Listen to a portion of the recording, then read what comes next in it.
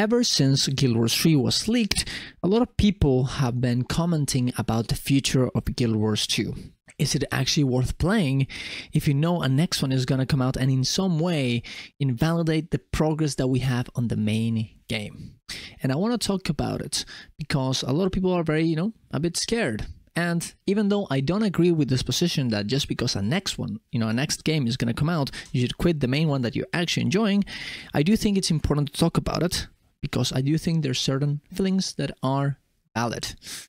And hopefully we can all, you know, get to a conclusion and hopefully decide on which is the best thing to do for you. Subscribe channel for more content this. Go to my Ko-Fi if you want to support me. And let's get into it. So I made this uh, little list here uh, with every argument for yes and no. As you can see, I probably, you know, mostly agree with the no, but I want to start with a yes because I want to kind of, you know, I kind of want to tackle the biggest points in, in terms of negativity on the game. So the first negative point. When bad things happen is because Guild Wars 3 is coming. A lot of people will see when something goes wrong in the game, when a bug happens, when the content is not to their standard, and they will use that to say that the reason why this happened is because they're focusing, you know, the game in Guild Wars 3 and they just don't care about Guild Wars 2 anymore. And if Guild Wars 3 didn't exist, this wouldn't have happened in Guild Wars 2. And that dissonance in your mind, it'll make you feel very bad. It'll make you feel like it's not worth putting yourself, you know, it's not, you know, worth playing this game because, like, well, if they don't care, why should I care? Why should I play this game? Why in an MMO where, you know, putting yourself out there and being immersive in the, you know, immersed in the game, in the world is very important. This specifically is very bad, okay? And I don't blame anyone in feeling this way. As honestly, you could even argue that the Secrecy Obscure expansion and everything we've seen until now, it feels, you know, that that that already is in the air, right? The oh, the content is not as polished, the content is not as big, the expansion doesn't feel as big, even if you know, you know, even if they're you know more quicker expansions, that feeling is very bad. And honestly, ArenaNet need to find a way if they really want to go through this, they need to find a way for that feeling to disappear because I don't think it's completely unreasonable for, for people to actually feel this way. Even back in the day, even a few months ago, before we even knew about this, people were feeling this way. And if ArenaNet doesn't, you know, find a way to deal with this feeling of in the community for the next expansion, we might be into trouble. And a lot of people might actually quit because of this exact same thing. Does it make a lot of sense? I do think so. Uh, honestly, I don't think there's a lot of the points in yes that make a lot of sense, but I think this one does. I think it is completely reasonable feel, for people to actually feel this way. Even if at the end of the day, you know, if you're enjoying the game, you should play it. And if you don't, you shouldn't, right? No future. I think, honestly, that is one of the also another good point. People will feel very, very bad about the fact that they know that the game will end at some point. MMOs are supposed to be forever, even though everybody knows that the servers might shut down eventually, that you know the company will move on. The illusion of knowing that the game will go forever is what people really want in MMOs. And the confirmation that this is not the case, that there's another game that's going to come out come out after, completely shatters this illusion and makes people not feel very invested into the world. What's the point in me investing myself into this video game that will end? And one of the biggest appeals of it is that it will not end when I can just go play another one that I know won't end. I know that Final Fantasy XIV is not gonna, you know, shut down. I know that WoW is not gonna shut down or make a WoW 2. But this, we know that the Wars 3 is coming, right? So what's the point? What's the point in keep playing? And even though I don't completely agree with that train of thought, because, well, you know, it's a video game, and as long as you're having fun, it is what it is. It's what you should go for. I do understand that if that's an you know, a very important appeal of your uh, MMO experience, I completely could see someone quitting over this. The next one is you will lose all your progress. This is true, you know, when a new MMO comes out, uh, especially specifically from you know the same franchise. You know, it comes from one to the other, from Guild Wars One, Guild Wars One to Guild Wars Two, from Guild Wars Two to Guild Wars Three. The progress that you have will be invalidated in some sort of way because there's a new game. Everybody cares about the new game, not the old one. So the achievements and the value of the things that you have in the in Guild Wars 2 will be diminished. But I do think also, at the end of the day, the most important part is that you have the memories of you achieving these things in the first place. Does it really matter if people don't care as much now? I don't think so. A lot of people consider a lot of the, you know, classic uh, wow items that you got back in the day as way more important than things that you would get right now because of nostalgia, because they're very much hard, you know, hard items to get, and you know they have a different type of value to them. Right? And sure, they're not as important right now, maybe, but they are important. And I think it's the same thing for things like Guild Wars One. I think a lot of people do find, you know, something like God walking amongst mere mortals as a very, very a very very cool title uh, but the skins that you get from the Halls of Monuments is very important even though that game is in some way shape or form dead people do have feelings about those items about those memories and i don't really think personally that if Guild Wars 3 came out i wouldn't stop caring about the legendaries that i grinded about the titles that are grinded and i do think that specific point even though a lot of people do uh, communicate it and feel it I don't think it makes a lot of sense, even in their own perception of how the game works. The next one is why play the game when the next one is coming? I think this is probably one of the most important and most valid points. What's the point in playing a game that I know the next one is going to come out? You know, like why wouldn't I just wait until that one comes out where the actual future of the company and the game is out and uh, you know, just play that. Why should I waste my time on Guild Wars 2 if I can just wait for Guild Wars 3? And I think, honestly, I can't really give you that much of an answer on then if you're having fun, you should play the game. Of course, actually, in this, we have a few uh, answers and, con- you know, almost like counter arguments to this point, uh, but we'll get into that. Um, I do think if you actually um, care about this a lot and, you know, you're like, oh man, I, I don't want to play the game anymore because I know the next one is going to come out. It's a waste of time. In that case, in, I, I almost feel like you're probably not having as much fun anyways. I almost feel like you are using this, you know, you know, these things in the game that you can achieve as a an excuse to make you keep playing the game just because you know like a little bit of like the sunk cost fallacy. You are using the sunk cost fallacy to make you keep playing the game. And if this is what it takes for you to quit honestly good you know you kind of you know you ANET kind of save you from your own sunk cost fallacy. I, am sure that they're not happy about that because they probably wanted you to keep playing the game and waste in using money.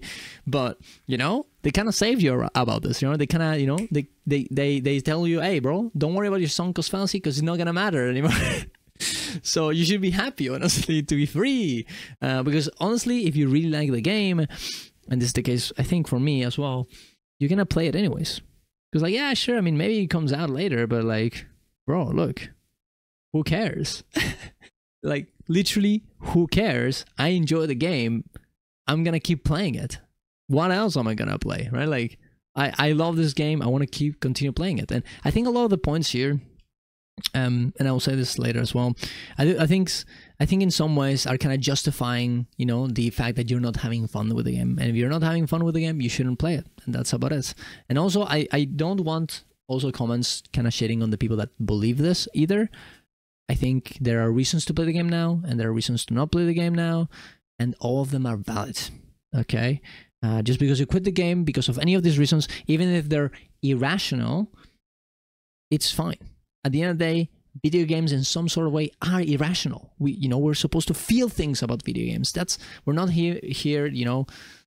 Well, I guess we do sometimes do math, but it's it's about the feeling that makes the game that the game gives to us. It's nothing like this is not is not real life. This doesn't really matter. It's to make, have fun, to get enjoyment, to be happy. Okay, if you're not, you shouldn't play even if the reason why you don't feel good is irrational. It is a video game. you can't sometimes you can't you know logic yourselves into a feeling and if that's the case here you shouldn't play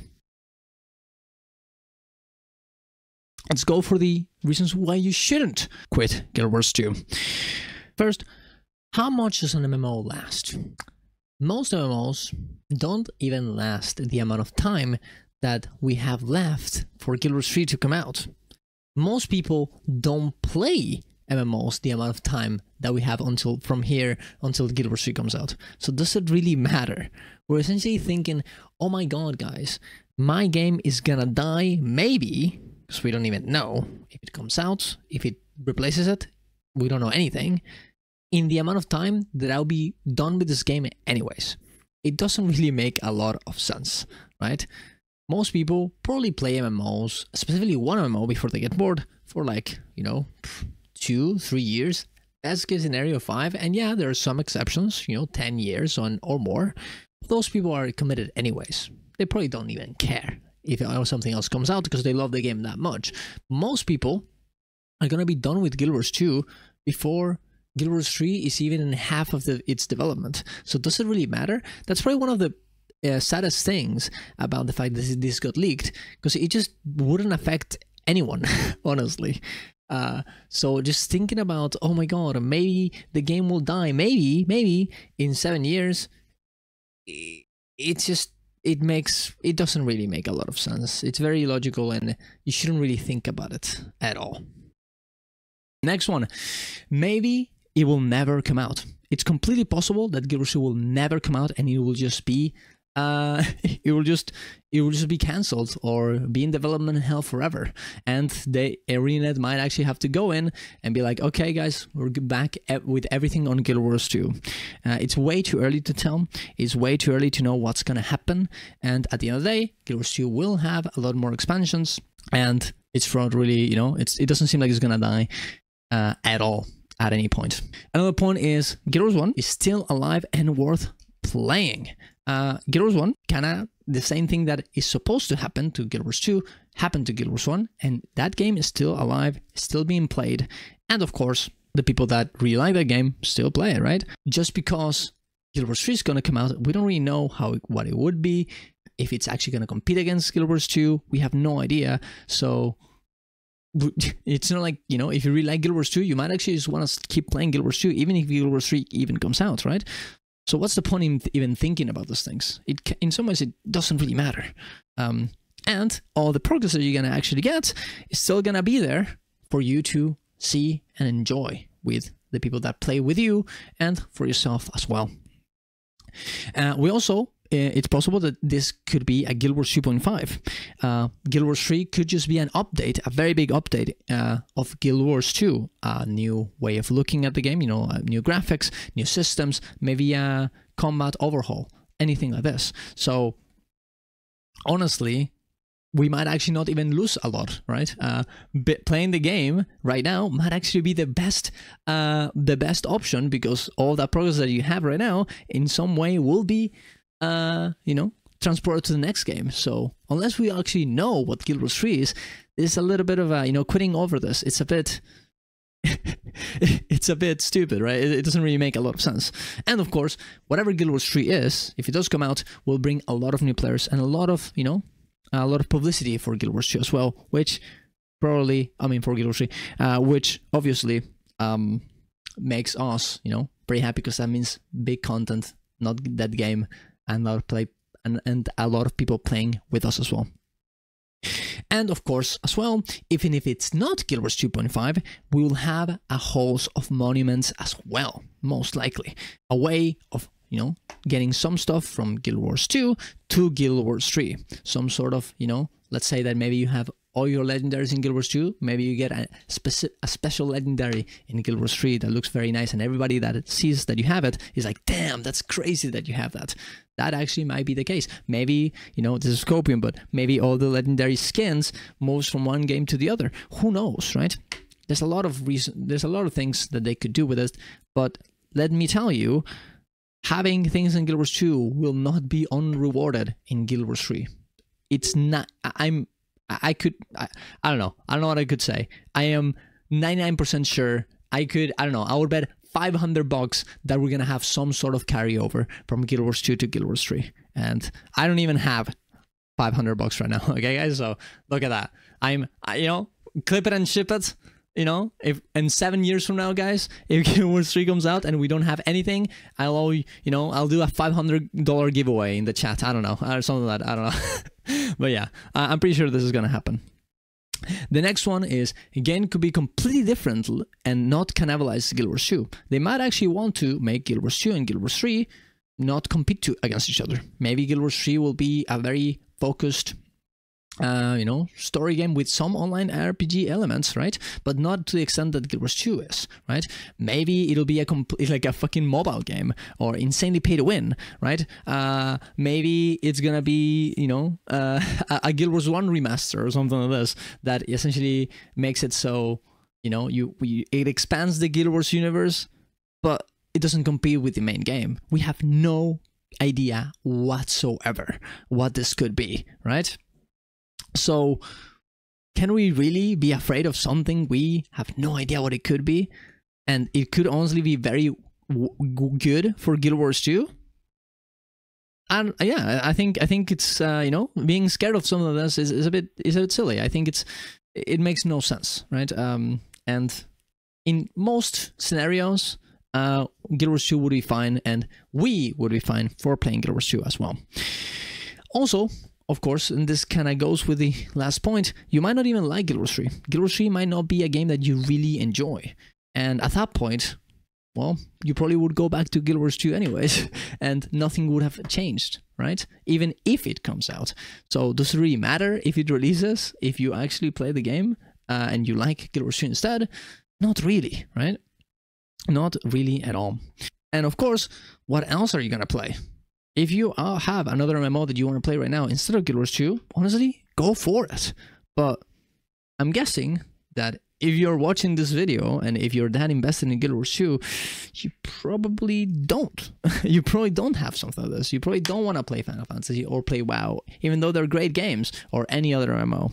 Um, so why ruin your great experience that you have in the game that you love for something that, you know, is not even here and it won't be here for over seven years. And at the end of the day, and I think this is the one, you know, this is the best. It's fun, so does anything else matter? If you're having fun, you should play the game, and that's it, right? If you're having fun with Guild Wars 2, you should, you know, you should not care about what anyone says about, oh, Guild Wars 2 is dead, and oh, you know, Arena doesn't care about the game anymore, and all this other stuff. Who gives a fuck, dude? It's a game. You're enjoying it. Awesome. You're not enjoying it leave. That's it. Anything else is complete copium. It's complete, just, I don't know, mental gymnastics to justify a feeling that you should honestly just express and follow. There's no point. There's no point in debating it. If you like it, you should play it. If you don't, you shouldn't. And that's about it. The last thing I want to say is, well, Classic WoW, for example, died a long time ago. The people that love that game didn't really care. They kept playing. Same thing for the people that play Guild Wars 1. They love the game so much that no matter if, you know, the developers keep developing it, whether, you know, people talk about it, where they don't, they're there because they love their game and they think it's the best. I think Guild Wars 2, regardless of what happens in the future, will always be this way. Any moment that you spend in Guild Wars 2 will not be wasted because it's such a good game that no matter what Anet does, it will never die. It's just that is special. And I'll probably make an, another video about that, uh, but I think it is really true. So if you really enjoy the game and if you like being in the world that the game provides to you and share it with other people, that is the only thing that matters. Subscribe to the channel for more content of this. To my Ko-Fi if you want to support me. Go to my twitch.tv slash with us to watch my stream. Go to my Discord to hang out and check my events on any game that I do. Thank you very much for watching, guys. See you guys around. Love you all. Bye bye.